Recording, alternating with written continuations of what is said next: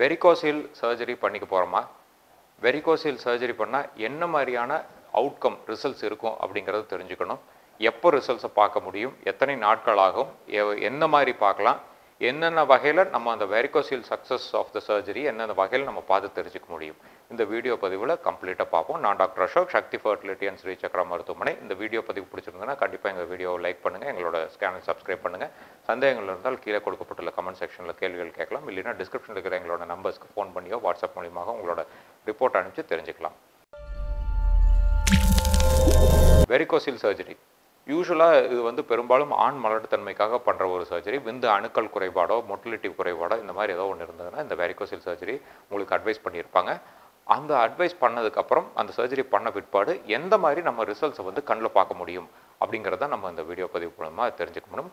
Number one வந்து varicocele surgery வந்து எங்கே பண்ணிக்கலாம் அப்படின்னா கம்பல்சரி அது ஒரு இன்ஃபர்டிலிட்டி சென்டர் அட்டாச்சான ஒரு மருத்துவமனையில் பண்ணிக்கிறது பெட்டர் என்ன காரணம் அப்படின்னா பெரும்பாலும் நம்ம இந்த வெரிகோசில் சர்ஜரி பண்ணிக்கிறதே வந்து இன்ஃபர்டிலிட்டி ட்ரீட்மெண்ட்டுக்கு உண்டான மொட்டிலிட்டி அணுக்களின் துடிப்புத்தன்மை கவுண்ட் ப்ராப்ளம் அணுக்களின் நம்பர்ஸ் இதை வந்து சரி பண்ணுறதுக்காக தான் இதை பண்ணிக்கிறோம். ஸோ அந்த சென்டர்லேயே வந்து இன்ஃபர்டிலிட்டி சென்டர் அட்டாச் ஆகிருந்ததுன்னா அவங்க வந்து ப்ராப்பரான ஒரு சர்ஜரி பண்ணக்கூடிய ஒரு சென்டராக இருக்கும். ஸோ இன்ஃபர்டிலிட்டி சென்டர் அட்டாச்சாக இருக்கிற இடத்துல தான் இந்த சர்ஜரி பண்ணிக்கணும். முன்பை போல் இல்லாமல் இப்போல்லாம் லேப்ரோஸ்கோபி முறை முறையிலேயே இந்த வெரிகோசிலக்டமி சர்ஜரி பண்ணுறதுனால பெரிய தழும்போ ஒரு ஒரு ஆப்ரேஷனுக்கு உண்டான ஸ்ட்ரெயின் எல்லாம் இருக்காது. ஃபாஸ்டஸ்ட் ரெக்கவரி இருக்கும். ஒன் டே வீடுக்கு போகிற மாதிரி தான் இருக்கும். இதோட தழும்புகளும் பெருசாக வெளியே தெரியாது. ஸோ ஒன்ஸ் நம்மளோட டயக்னோசிஸ் பண்ணுறோம் வெரிகோசில் ஒரு சர்ஜரி பண்ணுறோம் சர்ஜரி பண்ணி எத்தனை நாட்கள் கழிஞ்சு நம்ம ரிசல்ட்டு எக்ஸ்பெக்ட் பண்ணலாம்?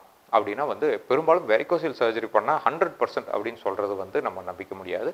ஒரு அறுபதுலேருந்து எழுபது சதவீத பேஷண்ட்ஸ்க்கு வந்து இந்த ரிசல்ட்ஸ் வந்து நல்லா இம்ப்ரூவ் ஆகி வந்துடும் அதுலேயும் வந்து செமன் பேராமீட்டர்ஸும் அறுபதுலேருந்து எழுபது சதவீதம் நம்ம வந்து ஒரு ப்ராமிசிங் பேராமீட்டர்ஸ் கொடுக்கலாம். ப்ரொவைடட் நீங்கள் வந்து ஒரு ஐடியல் கேண்டிடேட் ஃபார் சர்ஜரியாக இருக்கணும். ஸோ அந்த ஒவ்வொரு பேராமீட்டர்ஸும் நம்ம மற்ற வீடியோக்களை பார்த்தது போல் செமனில் வந்து மூணு முக்கியமான parameters morphology counts and motility இந்த மூணுமே வந்து ஒரு எழுபது சதவீதம் இம்ப்ரூவ்மெண்ட் வந்து கண்டிப்பாக இருக்கும். அதிலும் வந்து உங்களோட போஸ்ட் வெரிகோசியல் கன் சர்ஜரியோட கன்சப்ஷன் ரேட்ஸ் பார்த்தீங்கன்னா ஒரு அறுபது சதவீதமாவது அதிகமான சான்சஸ் வந்து இருக்கும். ஸோ எத்தனை நாட்களில் இதை வந்து நம்ம மறுபடியும் டெஸ்ட் பண்ணி பார்க்கணும்? அப்படின்னா வந்து மினிமம் எழுபத்தி ரெண்டு நாட்கள் வந்து வெயிட் பண்ணணும். இது எதற்காக அப்படின்னா வந்து நார்மல் ஸ்பெமட்டோஜெனசிஸ்ன்னு சொல்லுவோம். அதாவது ஒரு விந்து அணு உருவாகி அது மெச்சூர் ஸ்பேமாக உய உயிரணுக்களாக மாறுவதற்கு எழுபத்தி ரெண்டு நாட்கள் ஆகுது. ஸோ ஆப்ரேஷன் முடிஞ்ச நாள்லேருந்து நம்ம அத்தனை நாள் வெயிட் பண்ணோம்னா தான் நம்ம வந்து நார்மலான ஒரு செமன் வந்து ஸ்பெர்ம் செல்ஸ் வந்து உற்பத்தியாகி நம்மளுக்கு டெஸ்ட்டில் வந்து கரெக்டாக தெரியும். அதே மாதிரி வெதர் வந்து வீங்கி வீங்கி இருக்கும். அந்த வெதர் சுற்றியும் வந்து ரத்த நாளங்கள் பெருசாக இருக்கும். அது கம்மியாக இருக்கும். மினிமம் டூ மந்த்ஸ் வந்து எடு எடுத்துக்கும். இது என்ன காரணம் அப்படின்னா வந்து வெரிகோசில் சர்ஜரியில் பெரும்பாலும் அந்த ரத்த நாளங்களை எல்லாம் கட் பண்ணி விட்ருவாங்க நீக்குவது கிடையாது. கட் பண்ணி தான் விடுவோம்.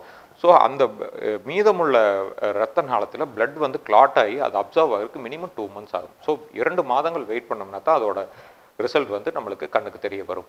ஸோ இந்த இரண்டு மாதம் வெயிட் பண்ணுறோம் வீக்கம் தணிஞ்சிரும்.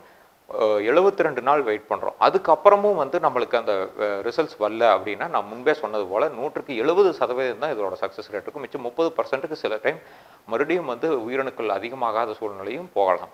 அந்த மாதிரி போகிற பட்சத்தில் வேறு என்ன பண்ணலாம் அப்படின்னா லைஃப் ஸ்டைல் மாடிஃபிகேஷன்ஸ் பண்ணலாம். இல்லை உயிரணுக்கள் அதிகப்படுத்துறதுக்குண்டான மெடிசின்ஸ் சாப்பிட்லாம். இந்த மாதிரி இதையெல்லாம் நம்ம வந்து எடுத்துக்கொள்ளலாம்.